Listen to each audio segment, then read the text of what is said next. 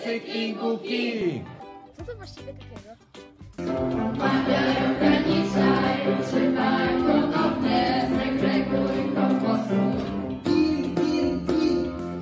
Recykling King! Bierze się do pracy.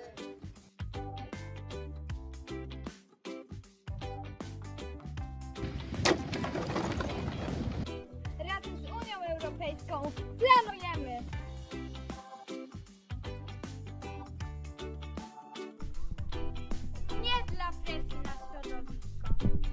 Tak dla wydłużenia wartości surowców. Zredukuj ilość wyrzucanego jedzenia. Tak dla innowacyjności. To jest e, dramat dla kota. Można zobaczyć